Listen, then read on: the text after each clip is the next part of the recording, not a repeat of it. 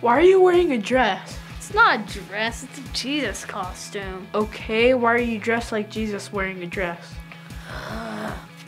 Easter is coming up on Sunday, April 16th, and what better way to get people to come to church on Easter?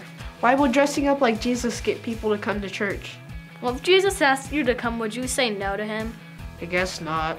See, it's the perfect way to invite people. What about the people who don't want to go around dressed like Jesus? Easy, they could just pick up some touch cards to hand out to people. It's not as effective, but it'll do. Okay, parents, mark your calendars and don't forget to come back for Easter service. And invite, invite, invite. You will invite people to come to church. I don't think Jesus was a Jedi. Nah, he was better.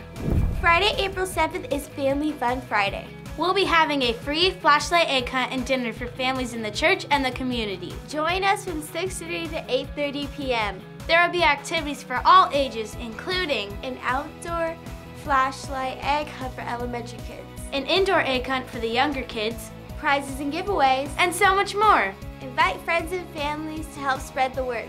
Touch cards can be picked up from the Welcome Center and your child's class. This is a great chance to invite families to check out the church. And we'll invite them back for more fun on Easter morning.